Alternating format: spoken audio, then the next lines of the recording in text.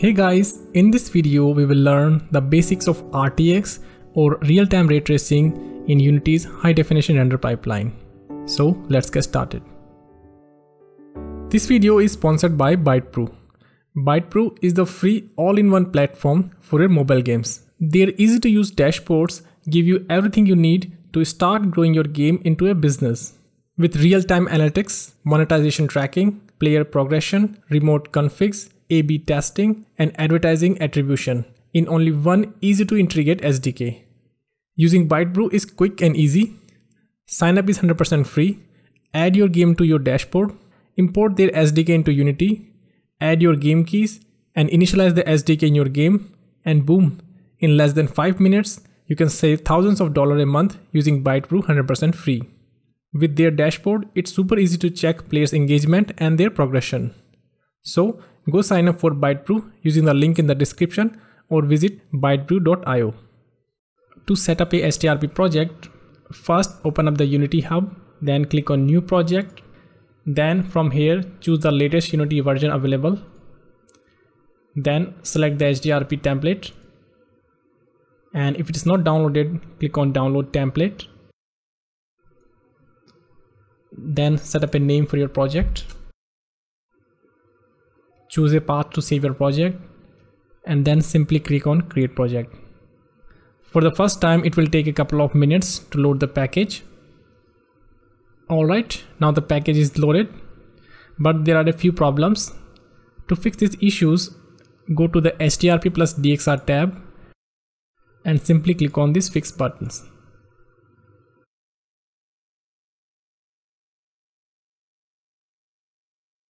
Alright, now everything is fixed. As you can see, all the options are green. For this video, I'm using this library 3D scene, which you can download for free from cgtrader.com. A link is given in the description. Alright, I have imported that asset and also prepared a few basic materials.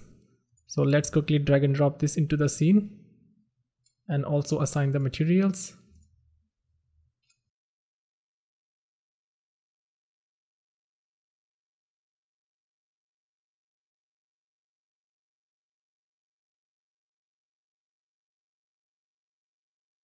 Before adding any lights to the scene, I want to explain the ray tracing a bit that I'm going to cover in this video.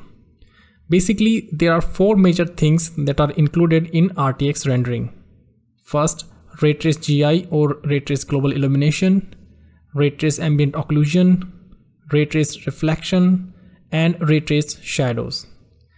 When all these features are combined, we get a almost physically accurate real-time lighting without any light baking. For RTX rendering, you have to have a RTX supported graphics card. A list of supported graphics card can be found on Unity documentation.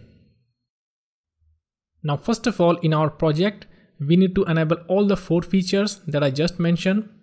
So for that, I go to edit, project setting, and in the graphics section, select your HDRP asset. And here as you can see, the ray tracing is enabled Next is this screen space ambient occlusion. Don't get confused with the name. In Unity, both screen space and RTX feature are combined together. So I enable both screen space, ambient occlusion, global illumination, reflection, and also the shadows. Next, again go to project setting and in the HDRP global setting, and down here in the frame setting default values go to the lighting section.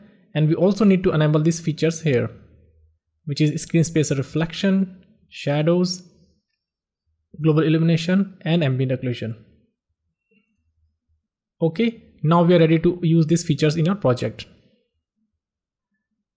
Next i'm going to add a sky and fog volume to control the environment. For that right click go to volume and choose sky and fog volume. And first of all disable the sky. The reason I'm not using any sky because I want to show you the effect of using just one direction light. Let's also disable the fog. Next select this sky and fog profile and go to the lighting panel. By the way, you can access this lighting panel by going Windows, Rendering and Lighting and then assign this profile in this profile section. Next, I'm going to add a post-process volume to control the exposure of this scene. So for that, I right click, again go to volume and choose a global volume. I call this post-process and click on new to create a new profile. And in the add override section, choose exposure, click all to enable all the option. And from this little moon icon, choose sunlit scene. Okay. Next, select the direction light and adjust its position. And uh, I don't want this filter color, so I reset it to white and also set the shadows to high resolution. Okay. So now as you can see that in our scene there is only one light source which is this direction light and we will use the real-time ray tracing to lit this entire scene. Now the first effect I'm going to add is ray trace GI. For that select the post process volume and click on add override, go to lighting and choose screen space global illumination. Click all to enable all the options and also enable this feature. And as you can see that our scene is a little bit lit but looking a bit dirty and that is because this is not a ray trace GI, this is screen space GI. This GI method only works on the lighting information that is visible in the frame. For example, if I move my camera this side, you can see everything goes dark because now there is no lighting information in this frame. But if I again move my camera this side, you can see our scene gets lit. It is now basically using this lighting information to generate GI in this area. You can also use this effect in a project, but this is not as good as ray trace GI. So to use ray trace GI, go into the tracing section and here choose ray tracing. And you can instantly see a huge improvement. Now this GI is not relying on the screen information. You can see even if I move my camera this side, our scene is still lit. Okay, because now this GI is calculated using ray tracing. So now let's take a look at some of its feature. Most of the features are pretty much self-explanatory. In the mode, you can choose performance or quality mode. For games, you can use performance mode and for architecture visualization, I would recommend quality mode. As you can see, our scene is still a bit dark and that is because we are only using one bounce count. So if I increase this bounce counts to two or maybe three, and now our scene is properly lit. And this GI is generated using just one direction light. And you can also see that it's quite fast. To fine tune this GI, you can use this denoiser radius. So if I zoom here, and if I reduce this radius you can see we get better detail. And if I increase the radius you can see we get a cleaner result. So you need to find a sweet spot between these settings. I think 0.5 is fine. For the extra contact details we're gonna use our next feature which is ray trace ambient occlusion. To add ray trace ambient occlusion again click on add override button. Go to lighting and choose ambient occlusion. Click all to enable all the option and increase the intensity. And this is the basic ambient occlusion that we use in most of our project. Let's also change the quality to high. This ambient occlusion also provide good result, but it is not physically accurate. It's also based on a screen space so for the actual ray trace ambient occlusion, just enable this option. And as you can see, our scene instantly gets dark. And that is because this ray trace GI is very powerful. So first uh, you can either reduce the intensity or you can reduce the maximum ray length. So I set this to 5 and also reduce the intensity to 0.75.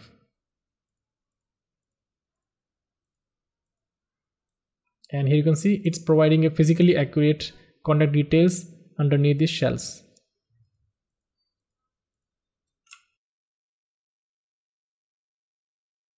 The next effect i'm going to add is ray trace reflection. So again click on add override go to lighting and choose screen space reflection and click all to enable all the option and reduce the smoothness something like that. And you can see that now our scene is receiving reflections. But again this is not a RTX reflection. These are screen based reflection. So if I move my camera down you can see the reflection goes away. Because now the object is not visible in the frame. And if I move up the reflections are visible again. In the algorithm you can also use this PBR accumulation method which is much more accurate but still it's based on screen space okay? To use ray trace reflection again in the tracing option choose ray tracing. And these are the physically accurate real-time reflection. Now if I move my camera down you can see that reflection are still visible even though the object is not visible in the scene. And this looks way much better than other reflections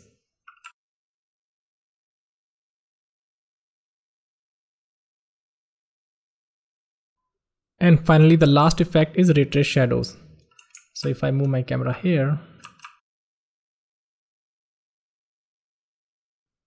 you can see these shadows here. So if I select my direction light, then enable the screen space shadows and also enable the ray shadows. You can see now smooth and sharp these shadows are. The good thing about this shadow is that if I use this angular diameter option, which will basically gradually blur the shadows.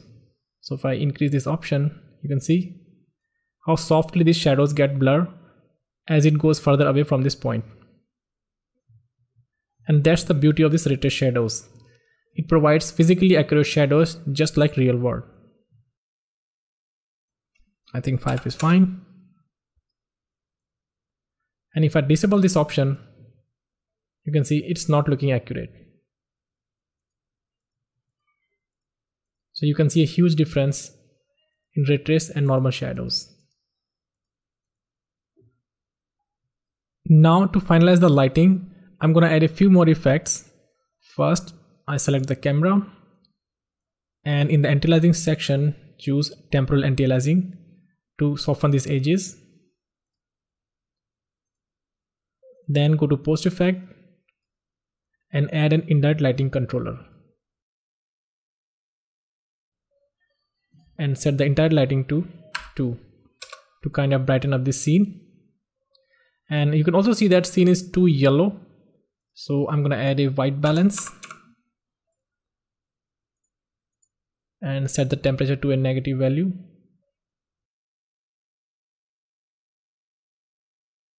And also add a lift gamma gain to adjust the color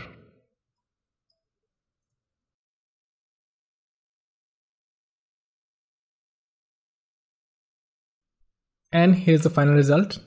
And as you can see it is still quite fast. But if I try to maximize this window you can see it gets slower because this ray trace rendering is also resolution dependent.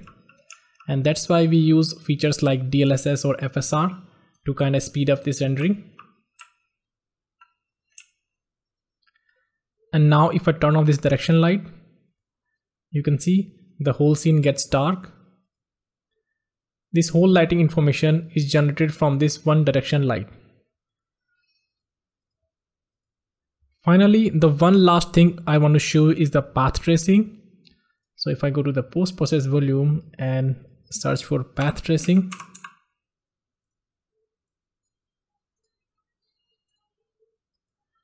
and as you can see, it is immediately start rendering. This is basically the same technique that is used in most 3D software like Blender, Max and Maya. But as you can see, it is not real time. It takes a few seconds to render just one frame. And this technique also combine all the four features that I just mentioned. So if you want to render something in Unity, you can also use this feature. If you want more tutorials about lighting and rendering in Unity, then please give a visit to my Patreon page, link is given in the description. And finally, huge thanks to all of my Patreon supporters, especially Anna Sinkonan, Dimedu, Carrie Loda Dio, Izokmok, Alexander, Brendan Manion, Florian Adrian, Francois Lobe Huden, Phoebe Liu, John Marks, Luis Elvis Hernandez, MMD Idol, Scott Foster, Silas Renagle, and The Masty. That's it for this video. See you in the next one. Bye bye.